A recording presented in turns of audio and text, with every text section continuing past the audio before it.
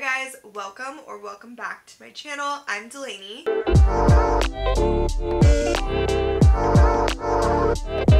And in today's video, I am going to be styling the 2023 fall fashion trends that I explained to you guys in my last video. As I explained there, these are trends that I have researched from fashion publications, the runways, social media, Instagram, TikTok, Pinterest, YouTube, things that I've seen on the street, and beyond. So I loved the roundup of trends this year, and now I'm going to style outfits for them, which I am also so obsessed with. They turned out so cute.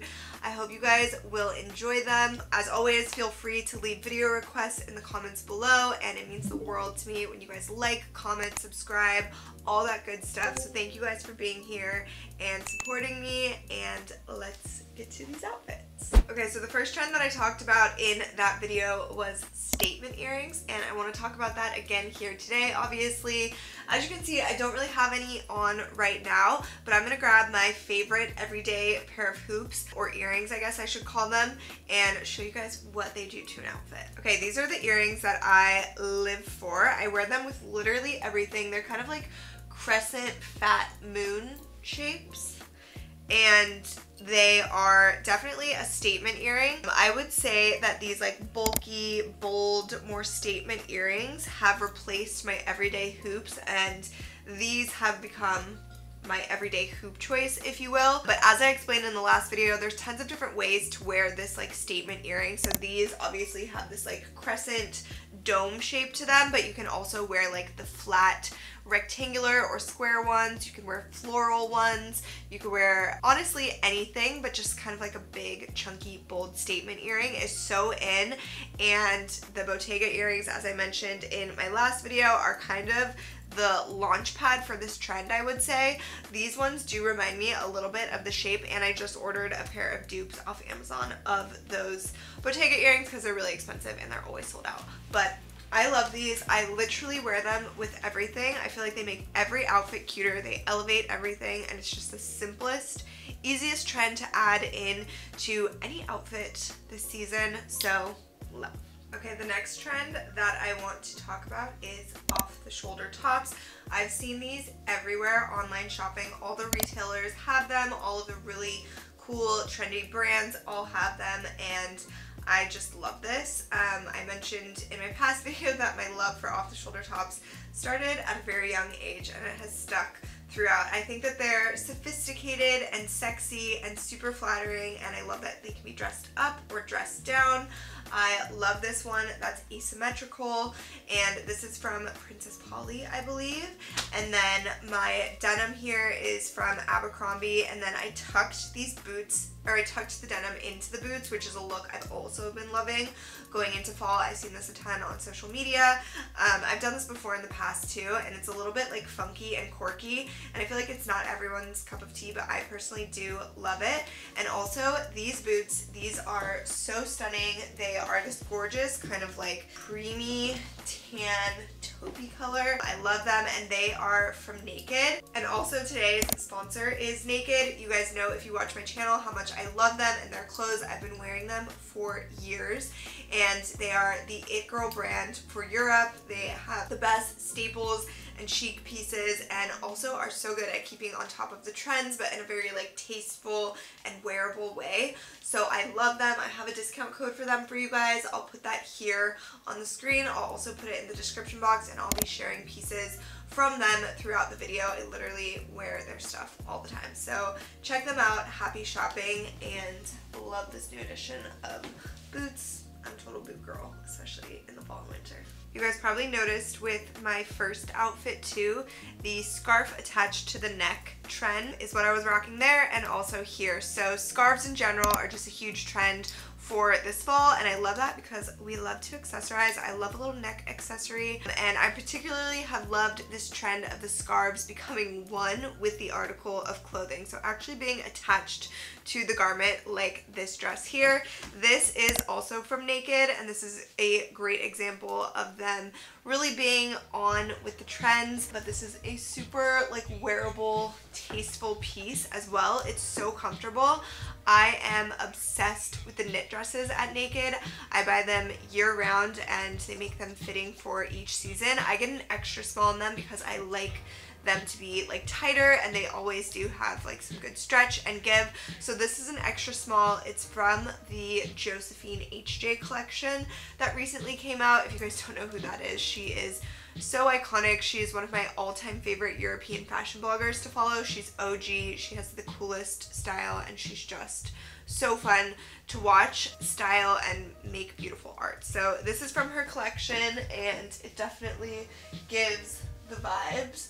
Um, I love that the back is like open and then the scarf that's attached, you can kind of like play with this how you want. So I just think it's super fun and obviously a great transitional piece because this is a bit like for warmer weather, but you can throw something on over top, take it off when you get to the event or party or whatever it is, and just love this trend. I think it's fun. I'll also link the bra that I wear with things like this because normally I would never be able to wear something like this open back and even on the sides and stuff, but I have this amazing sticky bra that I swear by, so I'll also link that for you guys. I tried a new hairstyle today and I think I like it. It's, it's like a little bit much maybe. It feels like really big on top of my head. And I didn't think about how many times I would be changing my top and like getting the neck hole over my hair. So bear with me as it changes and also let me know what you guys think. Is this hair is this the vibe or is this not really a vibe? I feel like a 90s prom look, but I can't tell if I like that or not. So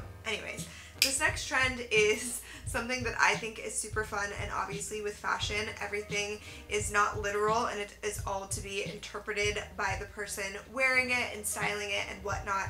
So we're calling this the no pants trend. Obviously I do have pants on, but there's not much there. They're not much of a pant. These are actually my favorite little hot pant. These are from White Fox and I literally wear these all year round. It's kind of like a pair of spandex shorts. Like they remind me of the shorts I used to wear when I played volleyball, but they're ribbed. They're way more, they're not like athletic like that, but they are similar in kind of look, I guess. There's not a ton there. It kind of gives this no pants feel, and I love this style with an oversized sweatshirt. There's a famous Kendall Jenner look that's kind of the stem of this no pants style in my eyes where she's wearing tights and everything. I'll put a picture up here. But anyways, I love the way that this one turned out. I have this oversized sweater. This is in a size medium and this is also from NA-KD. I have so many sweaters from them that I've had for years. You guys still ask about some of them that are literally from like five years ago. So they're really great quality and they stay in fashion. Like this is just a staple good piece. I love stripes. It adds like a little bit of texture and interest to a look. And then I paired this look back with my suede boots. Um, the way that Kendall Jenner styled this with, with, was with like tights and pointed toe heels, which looked super nice and super elongating. The boots is doing a little bit more of like a chop, I guess you could say, but I just am such a boots girl that I had to go with the boots for this look. If you know me, you know I love texture, so this next trend is just fluffy, fuzzy texture, and it can be on anything from the actual garments to the accessories like fluffy shoes or handbags, all and everything being fluffy is welcome. This fall fluffy and fuzzy and just textured which adds so much to a look it makes it seem a lot more fun in my opinion. It gives it more interest and it's also just nice to feel and it's nice and cozy which is perfect for fall. So this is also a sweater from NA-KD. I took this in a size large so it's a little bit more oversized but I could definitely done like a medium even. And it's just this really nice soft fabric. It's this beautiful, like creamy, kind of warm toned cream color and it goes with everything. It's perfect. And then I paired it back with this kind of like caramel colored skirt. This is from Princess Polly. Also, do you guys say caramel or caramel? Like which one is right? Or they're both right, but which one is weirder to say. Okay, but anyways, I just paired it back with this color, caramel or caramel skirt, and the boots that I have been wearing nonstop from NA-KD. I love all of these colors together. It is a perfect little fall dream. And then also to add to this look and make it a little bit more fluffy and textured is this bag. This is from Tory Burch. I got this last year in the winter and I don't wear this in the spring or summer at all so it is not the most practical bag but it's so perfect for fall and winter and I'm so excited to bring it back out. So I love this trend. It's like I'm a little teddy bear. Alright, I just went over a texture trend. Now we're doing a color trend. Red is absolutely the it girl this season. This was pretty much all over every single fashion publication that I read, all over the runways. I've seen it a ton on social media too. I don't know if you guys follow tennis. Clayton has been really into tennis lately, so inherently I have been into tennis lately and I do follow Morgs who is Taylor Fritz's girlfriend and she wore the most stunning red outfit and with her friend I think her name is Maddie um, they wore these stunning red outfits to the US Open and I was obsessed with them. They looked so iconic they looked so powerful and I'm just here for the red so it's totally having a moment. I love red as an accent. I mentioned in my previous video like shoes purses even a red lip or something just a pop of red red is great. I actually don't have a ton of true red clothing. I have more like burgundy or like a burnt orange, kind of like brick red color. This is the most like powerful, bright red thing I had.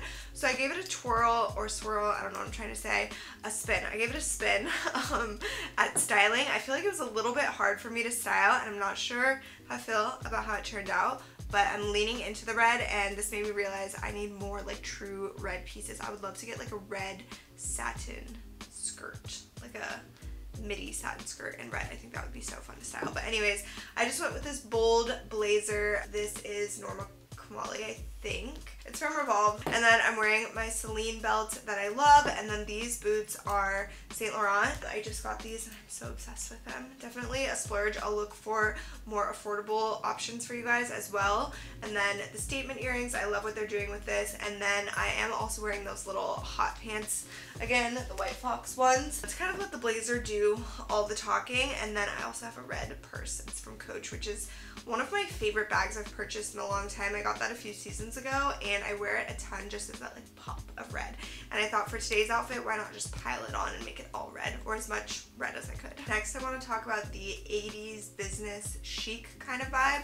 So as I mentioned before, this is all like how you interpret it and how it works into your life. It doesn't have to be like the most accurate, perfect depiction.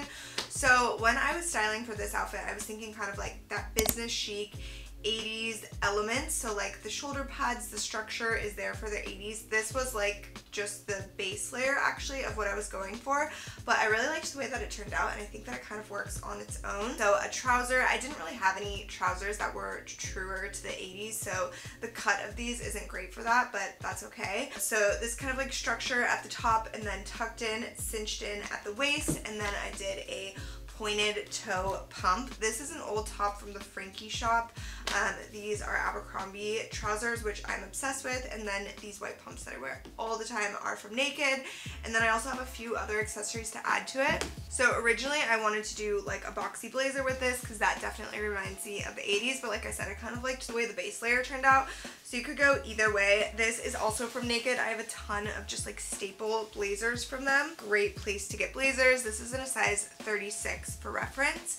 And it's just a nice like boxy oversized kind of masculine blazer which gives that power suit feel. Definitely reminds me of the 80s. You can kind of like tuck the sleeves up a bit if you're more petite like me and you feel like you're getting swallowed a little bit. And then I just have my Celine glasses and my Jackie O bag and I feel like this is a cool, definitely like business appropriate outfit and the elements from the 80s business chic are definitely there. The next trend is the peplum style tops or jackets or dresses. I have this little one that I actually got for our recent trip to Napa when we were wedding venue shopping. I actually didn't get to wear this because I'm a very overly ambitious packer. I overpack and I also think I'm gonna be doing like all this stuff all the time and then I don't do as much. So I didn't get around to wearing this, but I'm not a huge peplum girly in general, so this is a bit out of my comfort zone. I do think it's fun, and especially when I was doing my research for the trends, I was inspired by some of the things I saw that were a little bit more edgy peplums. This one definitely feels more true to that like sweet classic style of what I associate with peplum, but I'm here and I'm rocking it. I'm trying, and this is obviously giving a little bit more summer vibe right now. I paired it back with this pair of of Seven for All Mankind denim that I think I've literally had since seventh grade. My grandma bought them for me. Um, and then I have my ballet flats. These are from Urban Outfitters. I love them. I'm turning into a huge ballet flat girly. And I have a couple more accessories to make this feel a little bit more put together and a little bit more transitional heading into fall. So where I live, it is going to be warm for the next couple of weeks, if not months, but I know it's different for everyone, and typically speaking, fall fashion would be going into some warmer pieces. So this is another knit sweater from NA-KD. I got this in a size large as well, but a medium or small honestly could have worked too. I just prefer to have them be more oversized, I guess. Um, but I thought that this would be really cute, like layered over as kind of just a little added piece. You could cross it and tie it up or just kind of like leave it like that. It feels very chic to me. I also have this bag that I love. This is from Paris 64. It is definitely very summery feeling to me, but because fall comes right after summer, these transitional outfits are obviously going to have aspects of summery pieces in them. So I think all of this paired together together gives a really nice transitional summer to fall outfit and we're rocking one of the hottest trends of the season with the peplum. This is one of my favorite outfits of this video actually. The trend is structured clothing which could go a bunch of different ways because obviously it could be in the sleeves, it could be in the bottoms. I mentioned the bell, horseshoe, barrel legged denim that is huge right now. I do actually have a pair of those. I just remembered could have gone with those. But I ended up going with like a structured puff sleeve top and I love the way that this turned out. This would honestly be cute with the barrel leg denim as well. So a little bit of structure on top and bottom. But anyways, there's so many different ways you can go with this trend and I think it's super fun. So this top is from Revolve. I can't remember the brand off the top of my head. It actually came with like a gold flower right here, like a brooch. Is that what they're called? Why don't I know what to call anything today. But I took it off and I like it actually a lot better without it. Just a little bit plainer. And then this denim skirt is actually from Amazon and I'm obsessed with it. It's got like the high scoop slit on the side and I think it's so fun to style for fall. My Isabel Marant boots again and my Celine belt. And then I'm going to do a little zebra bag for a pop. I didn't really know what was right bag for this. Um, I'm I have a hard time with bags. You guys know I'm not inherently a bag girl, but I'm trying. So we're working on it. And then my Celine glasses to match um, my little belt. And I just love the way that this turned out. It feels so fall to me. Okay, this last trend, I am actually not very prepared for this one. If you guys watched my last video, it was a tie. It was a tie trend. I actually don't have a tie and my fiance Clayton doesn't have one either. I don't think, to be completely honest, our house is kind of in shambles still from when we moved a couple of months back and we're hopefully doing a remodel in the next couple of months. So we're not really getting any more organized just because it's all about to be turned upside down anyways. More of that on the vlog side of my channel if you guys are interested. But long story short, I didn't have a tie and this is obviously not a tie.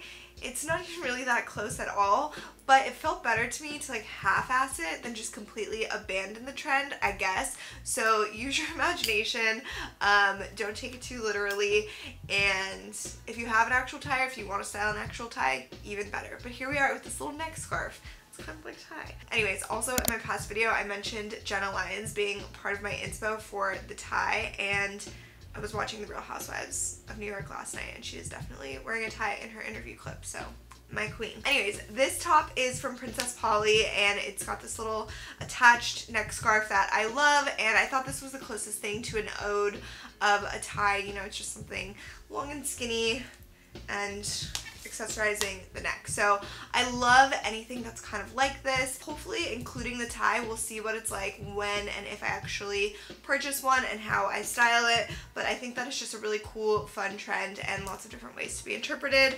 And I also thought why not show you guys just like one more cute outfit in this video. So we have this top that I love in this really pretty gray color. I wish it came in more colors too because gray is typically not my favorite color, but I do think that this top is really pretty. And then I paired it with my favorite satin skirt from Abercrombie. I wear this all the time. This in red is like what I want. So maybe Abercrombie will see this and they'll create a red one. Um, and then because the top was gray, I actually paired it back with this pair of Dolce Vita ballerina flats that are silver and I'm obsessed with them. They kind of have like a little square toe and they have the ankle strap. I think that they're so cute and so fun. I am going to add a few more accessories. My favorite vintage Prada bag. She's really seen seen a lot. She's she's pretty beat up, but I love her. And then just this pair of glasses. I think these are from Chimi and we're good to go. I feel like this is a perfect like casual fall outfit, but it's still fashionable and fun.